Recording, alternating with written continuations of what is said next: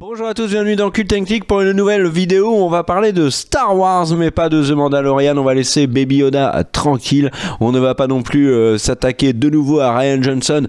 Sois tranquille. On sait Nous pas. allons parler de The Clone Wars, euh, la euh, série animée euh, notamment de Dave Filoni, euh, série animée donc qui euh, a débuté en 2008 avec en introduction un film qui est sorti au cinéma réalisé par Dave Filoni en personne, Dave Filoni qui travaille sur The Mandalorian. Le film qui a une petite histoire, au départ ça devait être les quatre premiers épisodes de la série animée et puis George Lucas au dernier moment a changé d'avis et a décidé d'en faire un film euh, qui est sorti euh, au ciné que moi je suis allé voir en avant-première, j'étais hyper chaud et en fait il y avait bon il y avait des fans de Star Wars déguisés mais globalement il n'y avait pas grand monde et il y a très peu de gens qui se rappellent que ce film est sorti au, cinéma. C'est vrai qu'un film animé euh, Star Wars c'était un peu particulier après notamment la, prélogie. L'histoire c'était quoi globalement? Anakin Skywalker qui est toujours le padawan de Obi-Wan, bah, le conseil des Jedi lui donne une, euh, une apprentie. Cette apprentie, c'est une, ado rebelle, Ahsoka euh, Tano, et on suit les premières aventures et la complicité qui est en train de naître entre Anakin et Ahsoka. Ahsoka que vous connaissez bien mieux maintenant et que vous êtes bien plus nombreux à connaître. Euh, dans cette vidéo, on va, euh, Greg va vous expliquer pourquoi il faut regarder la série. Moi, je vais être très honnête avec vous. J'ai repris la série là parce que tu me l'as chaudement conseillé. J'en suis à la moitié de la saison 1. Donc euh, bah, justement, ça sera intéressant j'en parle à la fin, parce que tu le diras, la saison 1 est un peu particulière par rapport au reste. En tout cas, dis-nous pourquoi il faut regarder Clone Wars, la série animée. Alors déjà parce que euh, c'est une période qui fascine Lucas, il y a qu'à voir. Il a fait donc l'attaque des clones. Ensuite, il fait le dessin animé euh, l'attaque des clones, en, donc en dessin animé, qui sort juste avant le film de la Revanche des Sith. Il, il, annonce que en fait dans ce dessin animé il y aura l'explication de pourquoi Grievous tous, de pourquoi est-ce que il y a euh, des, il a certains, il a trois sabres, je crois au début du, de la Revanche des Sith, des Sith. Et en fait, il explique, euh, et, vraiment euh, gros, gros, gros euh, battage médiatique pour dire qu'il faut regarder la série dessins animés. Et on pourrait dire que bon, bah, il y a des dessins animés en plus qui sont très sympas et que ça a suffi. Et que du coup, Lucas a arrêté, mais non, il refait une série animée sur la même période en plus, un format en plus beaucoup plus long, des épisodes, chaque épisode est plus long, un, un tra- un travail plus soigné. Et, et du coup, déjà, si le créateur de Star Wars aime bien cette période, c'est qu'il y a une raison. Le deuxième euh, point sur lequel il faut aller, c'est parce qu'en fait, là où euh, Lucas a toujours essayé de faire que les films étaient accessibles de tout le monde, c'est-à-dire qu'on on va pas trop dans la mythologie de la force, il rentre, il essaye d'aller dans euh, juste ce qu'il faut dans les détails pour qu'on comprenne et sans plus, là où en fait, dans la série Clone Wars, c'est open bar. C'est-à-dire que là, si vous voulez vraiment aller plus loin dans l'univers Star Wars, c'est la série Clone Wars qu'il faut regarder, même plus que euh, 7, 8, 9, presque même plus que euh, la prélogie. Il y a des éléments, il y a plein d'éléments du, du mythe et du lore de Star Wars qui sont... euh, alors, vous allez me dire, il y a des livres, euh, il y a des BD, etc. Mais ça, qui, ne sont, voilà, qui ne sont pas canons, tandis que la série Clone Wars est restée canon. Et surtout, elle va jusqu'à beaucoup plus loin que Clone Wars parce qu'elle va jusqu'à le au fameux ordre euh, 66 de de tuer euh, tous les Jedi que donne tu sais pourquoi elle est restée canon? Parce que c'est de la bombe, bébé. Vas-y à toi. Quelle référence des années euh, 88 C'est vraiment. Et, euh, et donc, en fait, le truc, c'est que. Donc. Vraiment une époque importante, une époque importante pour euh, Lucas sur la prélogie, une période qu'il aime beaucoup. Et, euh, et quand je disais que le lore est vraiment très travaillé, c'est-à-dire que là, du coup, on est dans une époque où il y a plein de Jedi, parce que c'est avant le fait, c'est avant la disparition euh, des Jedi. On n'a jamais autant vu en temps d'antenne Anakin, parce que du coup, on le voit énormément avant qu'il se transforme en Vador. Et en fait, on a et, et le truc, c'est qu'on a globalement euh, des personnages qui sont jamais apparus dans les films, donc euh, comme Ashoka, euh, et c'est pas tout. En fait, c'est vraiment pas tout. C'est-à-dire que, alors, la série est, est- est- est construite assez bizarrement, certains diront. Ah oui. C'est-à-dire qu'en fait, elle a des arcs narratifs qui se succèdent et qui sont pas forcément collés aux saisons. Qu'est-ce que j'entends par là? En gros, on peut avoir un arc narratif complet où on va avoir 5-6 épisodes sur une histoire extrêmement précise qui va être, par exemple, un, casse, un cambriolage, le fait que quelqu'un va se faire kidnapper, euh, une mission, une enquête que va mener Obi-Wan, etc. Donc ça, pour le coup, ça fait vraiment pas avancer l'histoire de Star Wars. C'est juste une enquête qui va être menée, qui va durer 5-6 épisodes. C'est souvent le truc que je trouve le plus chiant et le moins intéressant. Par contre, il va souvent y avoir une deuxième partie de saison qui, elle, va être extrêmement importante, faire énormément avancer de choses, et alors là, vous allez voir des trucs comme vous en avez jamais vu dans l'univers de Star Wars. Par exemple, dans le mythe Star Wars, il y a au début de la création du monde euh, trois personnages qui vont apparaître avec un père une fille et un fils. Le euh, fils représentant le côté obscur de la force, la fille représentant le côté clair de la force, qui sont auto-confinés, pour utiliser un terme 2020, sur une planète, un monde un peu à part, un peu inaccessible, et le père essaye de garder les deux dans cette zone pour que ni le côté euh, obscur ni le côté clair euh, balayent le reste du monde et que le monde sombre dans le côté obscur ou sombre dans le côté clair. Et en fait, ce côté très mythologique qui est évoqué que très rarement dans Star Wars, là, vous les voyez. Il y a Anakin qui va se poser avec Obi-Wan sur cette planète. Ils sont arrivés et ils vont du coup rencontrer les déités de la Force.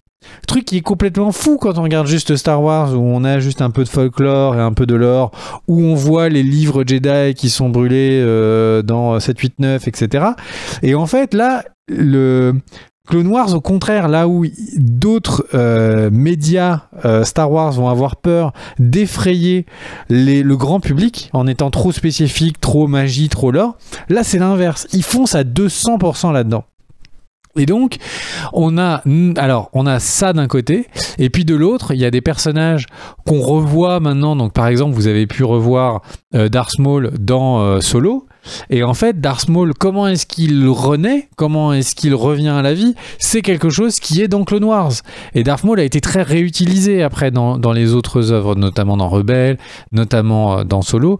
Et en fait, le truc, c'est qu'il y a plein d'éléments comme ça qui sont très importants pour le Star Wars des films, le Star Wars des Skywalker, de personnages qui sont importants parce qu'ils sont en périphérie ou qui permettent de faire comprendre de nouvelles choses, mais également, tout simplement, si vous voulez vous plonger vraiment dans l'univers de la Force et, les croyances de la Force et la mythologie euh, comme vous avez jamais pu le faire dans les, euh, dans les livres, eh bien, c'est l'occasion. C'est-à-dire que vraiment, euh, vous allez voir qu'en fait, il n'y a pas que des Jedi et des Sith. Vous allez voir qu'il y a des gardiens de la Force qui ont des sabres euh, jaunes et il y a une raison à ça.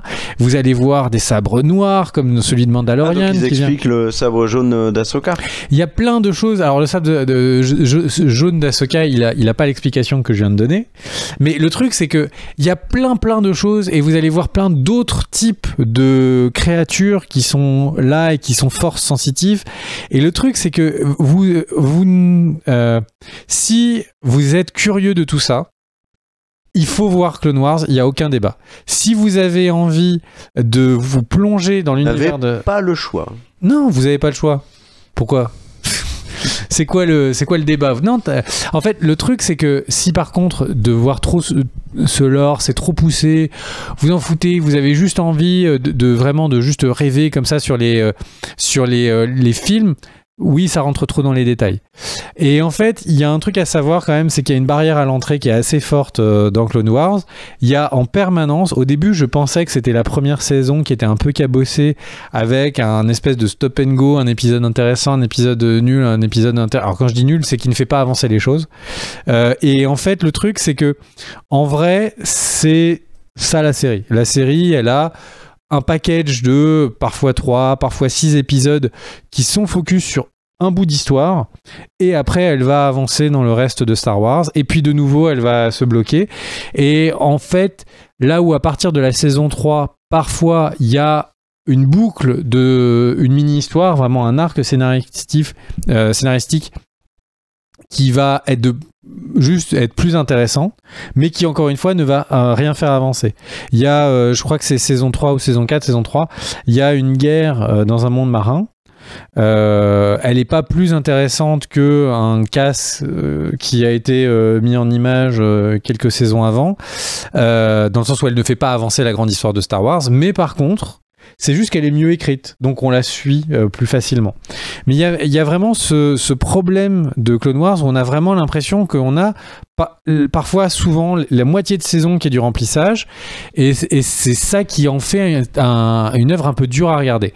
Mais par contre, ça vaut le coup, ça vaut vraiment le coup de, de passer ça parce qu'il y a certains de ces arcs narratifs, notamment l'escadron des clones de Anakin qui est, qui est que Anakin donne euh, pour une mission à un autre Jedi est hyper bien réussi. Vraiment, il est hyper bien réussi et on voit que certains Jedi peuvent être très brusques avec les clones, les prenant comme des moins qu'humains parce que c'est des clones. Et du coup, ça donne des choses un peu étranges. La série peut être un peu brutale par moments. C'est ce qu'on voit dans Mandalorian. Il y a une remarque qui est exactement comme ça euh, dans le dernier Mais pas par un Jedi qui est censé protéger oui, la vie, mais etc. par quelqu'un d'important qui est lié au Jedi euh, Ouais. et aussi dans, qui est dans Clone Wars. Et donc voilà, donc c'est une série qui, qui a vraiment des gros défauts, qui, euh, qui en termes de réalisation, la caméra est pas très mobile. Enfin, eh, il y, a- il y a vraiment plein de défauts à, à Clone Wars, mais, mais par contre c'est une mine, c'est vraiment une mine d'informations sur l'univers de Star Wars et une mine d'informations qui est canon, qui euh, du coup est quelque chose qui permet d'avoir des bases qui seront utilisées dans toutes les autres œuvres Star Wars.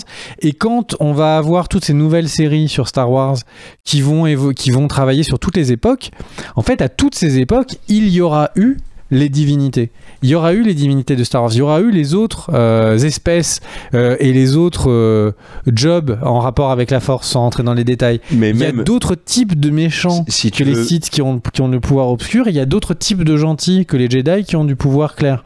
Et en fait, toutes ces différentes espèces, sectes, ou, enfin, tu vois, ou jobs, ou que- comment tu veux, comme que tu veux les appeler, ou, ou races, en fait, elles auront un impact, elles seront sans doute euh, que les autres séries iront piocher là-dedans. Mm. Et le fait de ne pas connaître euh, les, euh, euh, les, les Sœurs des Ténèbres, par exemple, je pense que dans certaines séries, euh, ça, ça va poser un- une bizarrerie. mais c'est déjà le cas parce que si tu veux bien comprendre The Mandalorian, il faut avoir vu Clone Wars et même Rebels. Par exemple, rien que pour Ahsoka Tano ou, euh, ou Bo-Katan. Donc, euh, En fait, c'est exactement la fameuse promesse du MCU de d'avoir euh, film, série où tout est connecté. En fait, euh, George Lucas l'a fait avec la première série en dessin animé de Clone Wars, où vraiment on voyait une série. Enfin, c'était vraiment une grosse annonce à l'époque. Il se passe des choses dans une série qui vont avoir un impact dans un film. À l'époque, les séries c'était vraiment euh, pas quelque chose d'important. C'était des plus petits budgets. Il y avait pas de grands réalisateurs qui allaient dans les séries. c'était peu respecté. Et, et c'était vraiment peu respecté. Et là, euh, de juste que les gens disent, euh, vous allez savoir euh, ce qui s'est passé, euh, pourquoi est-ce qu'il a des, des sabres, pourquoi est-ce que, euh, tu vois, euh, pour, pour prendre que l'exemple de Grievous, c'était juste des éléments pour aller voir. Et cette, cet univers étendu qu'il a voulu euh, mettre en avant Lucas lors de sa promotion. Et euh, c'est exactement ce qu'on a en, en plus poussé sur Clone Wars, parce que là, il y a sept saisons de Clone Wars. Alors, les C'est premiers... pas terminé hein, en plus. Hein. Si, Euh, si, je- 7 si, et si, c'est la dernière Et le, le, et le truc, c'est que alors tout est Mais il y disponible en a une nouvelle, Disney+, donc euh, Bad Watch, euh, Bad, Bad Batch. le Bad Batch. Et en fait, les clones, ouais. Tout est euh, disponible sur Disney+. Il y a juste un truc à savoir, donc les voix, euh, il y a les voix françaises des acteurs français qui faisaient Anakin, qui font Obi-Wan, etc., jusqu'à un certain, euh, une certaine avancée. Et après, un peu comme Friends, où euh, d'une saison à l'autre, il y a certains des acteurs qui changent de voix. Oui, mais Friends, a- c'était différent. C'est qu'il y avait une grève des doubleurs. Et après, ils ont repris. Non, il y a eu une renégociation salariale et il y a certains doubleurs qui ont demandé trop d'argent et qui ont été virés. Et le truc, c'est que Pas- euh, oui, mais que sur quelques épisodes. Après, ils Non, non, non, non, non, sur des saisons entières, euh, Car. Non, non, il y a il y, il y un moment, c'est plus au- du début à la fin, à partir de, je crois que c'est saison 5 euh, jusqu'à euh, la fin, il y, a des ac- il y a des acteurs qui, qui changent de voix tout quoi. Ah ouais. Et, euh, et là, en l'occurrence, eh ben, c'est euh, c'est la même chose. Au bout d'une certaine saison, pouf, euh, c'est plus la même personne qui fait Anakin. Bon, c'est une bizarrerie. Mais euh, à ça près, les doublages sont très bien faits. Et si vous avez, comme moi, vu la prélogie euh, en français parce que vous étiez tout petit, eh ben, euh, vous n'ayez vraiment pas peur de regarder Clone Wars avec les doublages français, c'est très réussi. Voilà. Et du coup, il y a, y a vraiment à boire et à manger dans cette série. Il faut, voilà, il faut Et- le savoir. Mais par contre, quel pied, quel... il y a vraiment tellement de choses. Et je, je peux pas vous spoiler parce que si je vous dis il y a la, révé- la- la révélation sur tel personnage, ça va être un spoil, etc. Et si vous avez juste envie de connaître l'histoire pure pure, euh, Wikipédia est votre ami. Euh, et vous pouvez aller voir juste le résumé de tout. Mais ce serait dommage parce qu'il y a vraiment plein de choses qui sont intéressantes. Tous les épisodes sur les divinités euh, de la Force sont très intéressants et, donnent euh, vachement de choses en lumière sur Anakin. Donc euh, voilà, est-il Mais- élu, pas l'élu mais Il y a toi, beaucoup d'informations là-dessus. Tu m'avais conseillé de sauter les deux premières saisons, c'est ça? Oui, oui, oui. Alors le problème, c'est qu'en fait, ce conseil de sauter les deux premières saisons fait que forcément Ahsoka et son développement, le développement des personnages, vous allez louper quelques éléments. Il y a quelques personnages réguliers que vous n'allez pas avoir, mais comme elles sont vraiment moins bien, enfin vraiment, je les trouve beaucoup, beaucoup moins bien que la suite, qu'à partir de la saison 3. Si vraiment vous, avez envie d'aller un peu droit au but, regardez des résumés de saison 1 et 2 euh, sur un Wikipédia ou sur quelque chose comme ça, et enchaînez sur la saison 3. Par contre, que ce soit clair entre nous, c'est pas parce que je dis ça qu'il y aura pas des épisodes un peu longs. Là, euh, je suis dans la saison 5, je suis à peine en train de sortir d'une révolte d'un peuple. Et le révolte d'un peuple contre les, euh, contre les droïdes, tu vois, de, euh, de, de la guilde du commerce, je n'en pouvais plus. Oui, voilà, et, je n'en pouvais plus. Ça, ça vraiment, me fait trop triste. ça fait 5 épisodes que je me tapais une révolte de personnes qu'on ne connaît pas. ou- Enfin, vraiment, j'en avais ras le bol. Et là, enfin, c'est fini, on passe à autre chose. Et j'avais franchement hâte. Mais du coup, je sais que là, il y a des trucs vraiment ouf qui vont apparaître. Et la série, elle est tout le temps comme ça. Il y a toujours un moment où, bon, euh, c'est bon, les, apprentis clones, euh, il leur arrive plein d'aventures. Il y a un moment, t'en as ras le bol. Tu veux juste avoir des trucs qui avancent. Et d'un seul coup, ça avance de manière incroyable. Pendant que j'ennuie Claire, et donc on non, va non, pas du la tout. vidéo. euh, il est, Merci il est-. Non, non, non, non, non, mais il est très tard.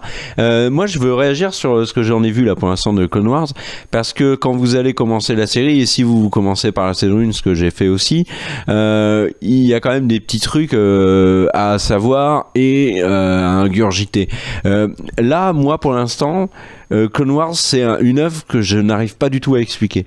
Parce que ça, je le vois comme. Alors, j'ai bien entendu tout ce que tu as dit, hein, et, et je sais que c'est un, ressenti lié au, début de la série, mais moi je vois ça comme un complément à hum, l'attaque des clones et à la revanche des Sith.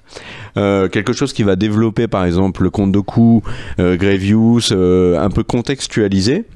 C'est un très intéressant parfois. Parfois, comme tu l'as dit, il y a des épisodes qui, pour le coup, euh, ont moins d'intérêt. Mais par contre, en termes de trame, où j'en suis, je- ça part dans En tous fait, les sens. En fait, c'est là où la série, elle, elle peut perdre vachement. C'est qu'en fait, on aime beaucoup euh, la série du sorceleur, The Witcher. Et il y a les sept livres principaux. Et après avoir fini les sept livres principaux, euh, Sapowski a corrigé des nouvelles qu'il avait écrites avant, qui sont des préquels. Et il a carrément fait un bouquin qui a un préquel aux sept livres. Et qui pourtant n'est pas lié à l'histoire. Et donc on pourrait se dire, bah en fait, c'est pas lié à l'histoire, donc c'est pas la grande histoire et tout. Mais c'est juste un auteur, dans le cas de Witcher, qui a voulu euh, amener des petites corrections scénaristiques ou amener la lumière sur des petits éléments Oui, oui. qui, qui le chiffonnaient que de ne pas avoir mis en lumière. Et là, j'ai franchement l'impression que c'est la même chose avec George Lucas, qui prend cette, cette époque qui lui l'intéresse beaucoup, ce moment de, des, Jedi qui sont en train de se pervertir sans s'en rendre compte en étant trop stricts. euh, Il faut pas, euh, il faut, tu vois, il faut, il faut se détacher, il faut pas aimer son prochain, etc. Et la montée des sites, c'est une période qui a l'air vraiment de le passionner euh, Lucas. Et en fait, il prend cette période et il va injecter plein de choses dont il voulait parler, mais qui ne sont pas forcément une grosse avancée du schmilblick euh, de Oui, non, Star Wars. on est d'accord, mais Il va fait- vouloir expliquer qu'est-ce que c'est que l'entraînement des, des clones. Donc on est d'accord qu'il y a plein de trucs qui font pas avancer la trame et que du coup. voilà, l'entraînement des clones, repérer- pour toi, t'y repérer, c'est quand même au début, en tout cas, c'est hyper compliqué. Voilà. Et en fait, c'est vrai que connaître l'entraînement des clones, en soi, on s'en fout. Et surtout que t'as plein plein d'épisodes sur des clones, et en fait, bah après coup, tu, tu apprends que concrètement, ces clones-là, en fait, on s'en fout complètement. Ils se sont dispersés et qu'il se passera plus rien avec eux.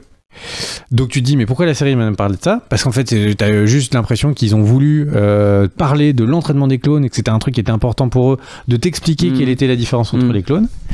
Et, euh, et puis après avoir mis ce patch sur ce côté de l'histoire qu'il n'avait pas euh, abordé et qu'il voulait aborder, pouf, ils arrivent avec euh, d'un seul coup les divinités de la force. Ils arrivent avec euh, Darth Maul. Et je vais pas prendre trop d'exemples pour pas spoiler, mais en fait, on pourrait reprendre l'exemple avec le Silmarillion, où en gros.